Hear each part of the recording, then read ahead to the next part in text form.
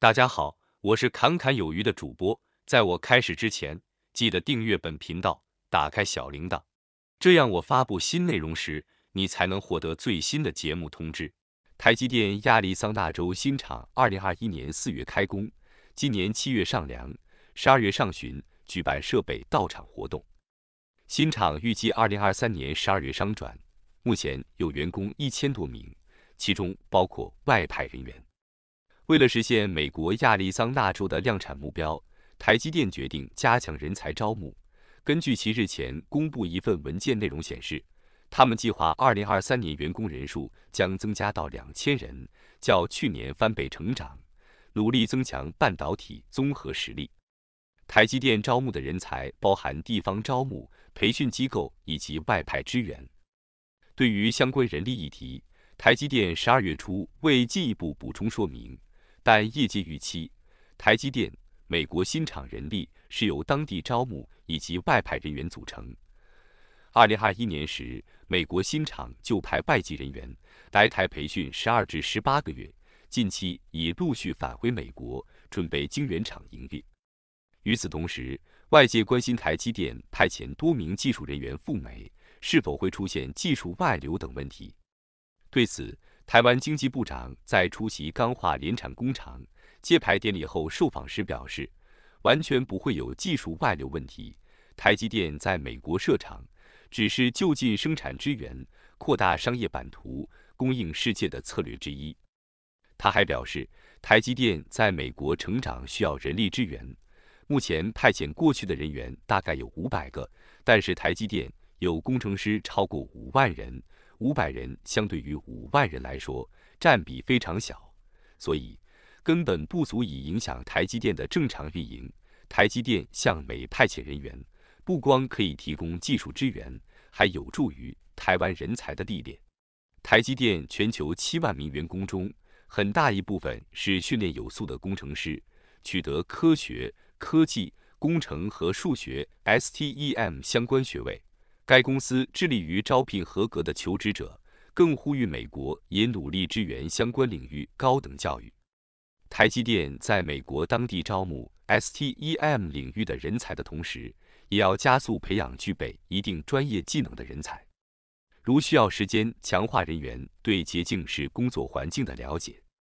近期和亚利桑那州当地劳工委员会、高中、大学、社区学院和其他组织合作。缓解人力短缺问题，在当地社区还推出十天四十小时的半导体快速入门课程。另外，台积电在近期回应美国商务部关于晶片科学法案的公众意见文件中，主动为供应链伙伴发声，争取美国政府支援。据雅虎新闻报道，台积电在给美国商务部的回复中指出，正与四十家供应商合作，这些供应商。正先后在台积电美国亚利桑那州晶圆厂附近设立据点。台积电指出，这些企业的设施接近台积电厂房，可以降低成本，促进及时协调。不过，台积电指出，若以美国法令提供的贷款方式，恐会使财务成本上升。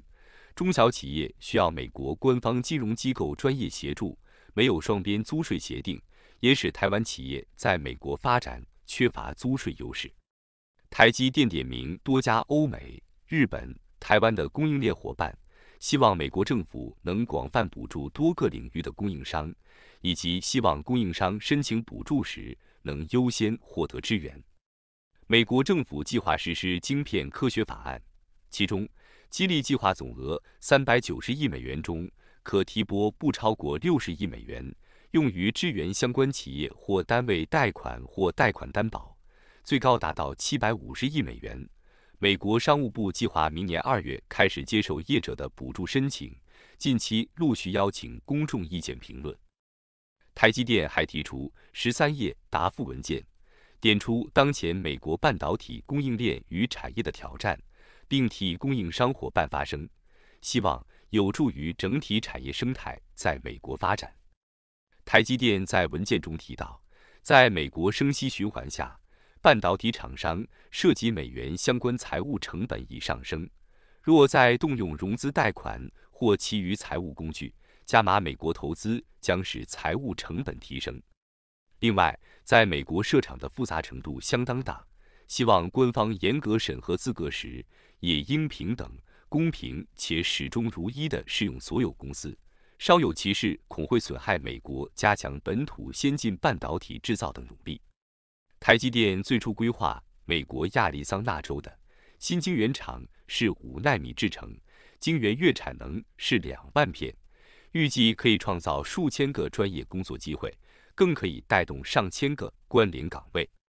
亚利桑那新厂将是台积电在美最大、最先进的生产基地。不过，事情从十一月底开始发生变化。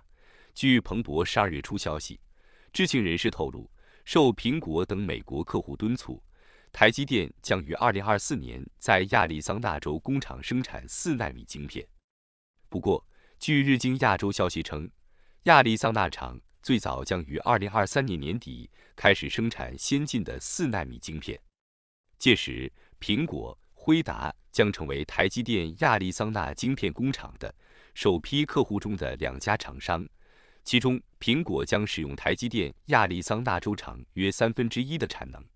据日经亚洲评论报道，当工厂开始生产时，苹果将是最重要的第一波客户，辉达可能会跟进。随后引述未具名消息人士称，除了苹果、辉达外，AMD、赛灵思等半导体大厂。也都计划向台积电亚利桑那州厂采购晶片。苹果最初的计划是使用台积电目前用于生产 iPhone 十四和 iPhone 十四 Pro 处理器晶片的五纳米和四纳米工艺技术来制造晶片。而且，台积电原本计划在亚利桑那州导入五纳米、四纳米制程技术，月产两万片晶圆。但现在的目标是将产能提高一倍。并在那里生产更先进的晶片。根据最新计划，该厂最终将采用三纳米，并额外月产两万片晶片。此前，台积电创办人张忠谋也证实，亚利桑那工厂还会生产三纳米晶片，但时间尚未确定。消息人士称，三纳米扩展的投资可能大于台积电在工厂第一阶段投资的一百二十亿美元。但产能将根据客户需求进一步调整。外资一则研究报告也指出，台积电未来几年可能在亚利桑那州扩大晶片代工的先进制程。台积电自从2020年宣布在美国亚利桑那州兴建五纳米厂，并从2021年开始动工至今，首批机台设备终于到场。台积电美国亚利桑那州厂。于十二月上旬举办盛大举办遗迹典礼及首批机台设备到场 First Two In 典礼。美国总统、商务部长、重要客户如苹果、AMD、辉达、台积电创办人张忠谋夫妇以及董事长刘德音、总裁魏哲嘉都亲自到场。此外，三星和英特尔也在美国大规模扩大晶片生产足迹。三星正在德克萨斯州建设一个价值一百七十亿美元的晶片工厂，而英特尔也正在亚利桑那州建设一个价值二百亿美元的新工厂，并在俄亥俄州建设另一个价值二百亿美元的工厂。外资表示，虽然全球半导体产业预计明年上半年将落到谷底，但是台积电在美国或其他地区设厂。已经是半导体产能本地化趋势引领的方向，并由于台积电未来四至五年可能在亚利桑那州扩大五纳米、四纳米，并持续构建三纳米的先进制程，因此预估台积电到二零二七年可能成为美国最大的晶片代工制造商。那么本期影片到这里就结束了，感谢你的观看，期盼能与你产生共鸣，侃侃而谈，阔论有余。最后。请你点赞、订阅，这是对本频道最大的支持了，谢谢。